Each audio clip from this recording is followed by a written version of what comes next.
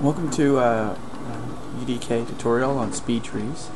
Um, demonstrate to you is how to uh, successfully bring in uh, speed trees from uh, uh, speed tree modeler to UDK through the compiler. So we're going to open a content browser and see what a speed tree is in the first place.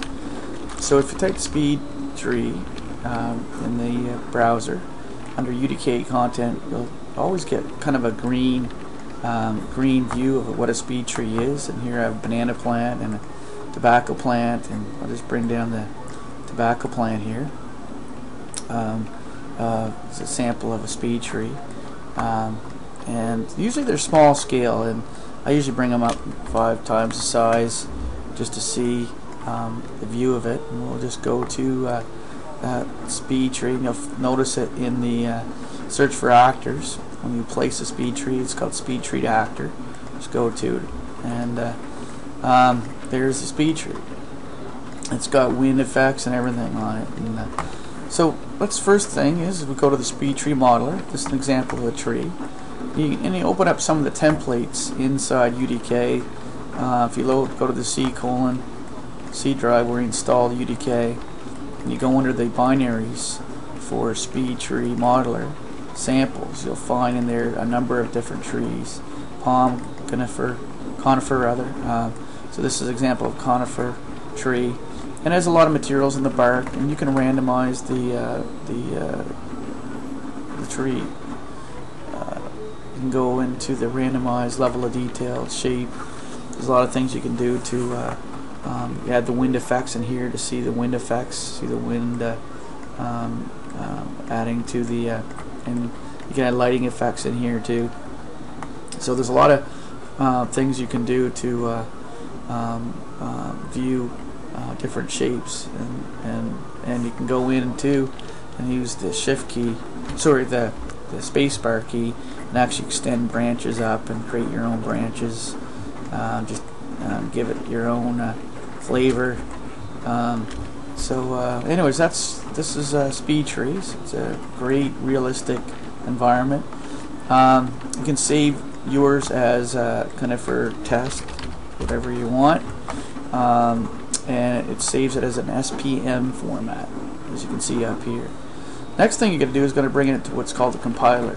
Um, so I'm going to go add tree, go to uh, my uh, folder um, so go into my uh, uh, folder here where the uh, UDK binaries uh, speed tree samples are and select the one I just did, the conifer test.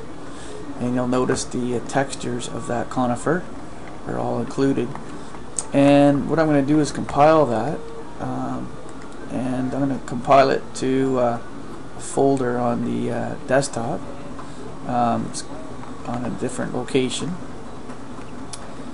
And once that's compiled, you go into your uh, your uh, UDK brow content browser. You go import, go to the desktop, where I put in the uh, conifer, and it brings in a, also a, a few other files, a normal map and a diffuse map. But I want to bring in all three at once and I'm going to actually go in and click open and create a new package called forest trees. So I can pack all those in one spot. Click OK to all. And it imports um, all the bark okay? And one more thing I've got to bring in is the leaves. So I'm going to bring in the leaves for that uh, tree and uh, um, we're going to bring in this texture broadleaf arc into that same package. Whoop, wrong one here.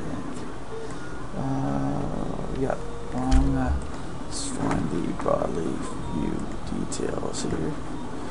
Uh, I think that's in the broadleaf texture diffuse. That's for the... And they're pretty large in file size, these textures, so it could take a while for that to come in. But there's the texture in. So then you drag this you double click the speed tree, here's the conifer, conifer, and there's a material. There's a lot to think about in the material. You got a branch. So you've got to create, even though you got it, your uh, texture in there, you got to create your uh, your uh, um, uh, trunk texture, and you select your bark type, and open up the uh, trunk here. So you've got the bark, hit T, okay, that'll bring your texture sample up. So there's your bark. That's the easy one because you can go into your speed tree and on the bark branch material and just uh, uh, oops, the right one here and uh, let's go use it sh should show up here. Uh, I got oh wrong one material bark uh, oh yeah to make sure you run your compiler too of your texture. So branch material comes in here take a minute and there you go. You got if you zoom in here you've got your branch. And I put that same one in here for your other branch 2 material so there you got a nice um, so the same thing with the leaves. Um, you create a new material for the leaves except there's a lot of additional things you have to do with the leaves because of the uh, uh, mask blending so we'll call it leaves. And in here we'll grab the texture 2D for the diffuse map hit T in the keyboard and do a new texture sample for that. And then we'll bring in uh, we'll import the normal map for that um, the normal map or specular map. And in it contains the uh, uh, the uh, the opacity map that you need. So T for that. Thing, thing is though you need to add two things. You need the uh, uh, uh, custom sorry color you need the math add and you need the vertex color uh, vertex color uh, information.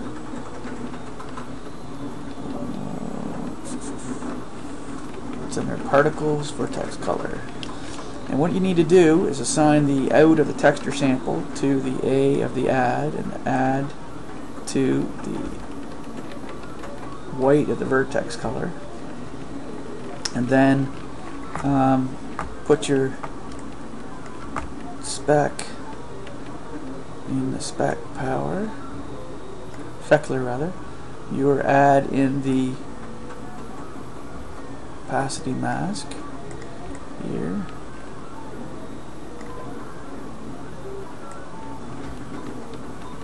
Um, for some reason, oh, I didn't, uh, sure this is up here.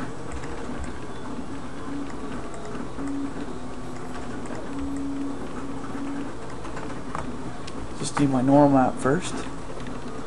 Two. Bring that one in. Uh, normal.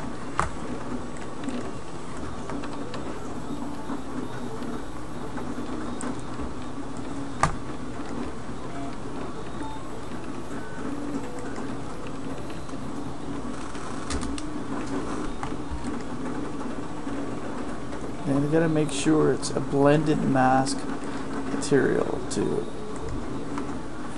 Um, material blend mask, which is always an issue. So put the normal map here, and there we go.